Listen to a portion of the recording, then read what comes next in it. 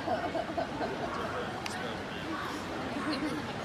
did, did you take your? No. Oh, you trust him as a mechanic?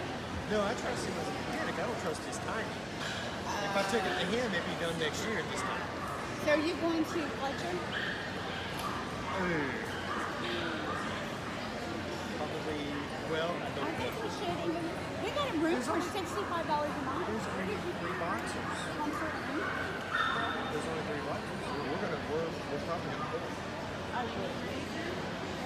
If she needs, you need anything, but you don't forget if there's there's job.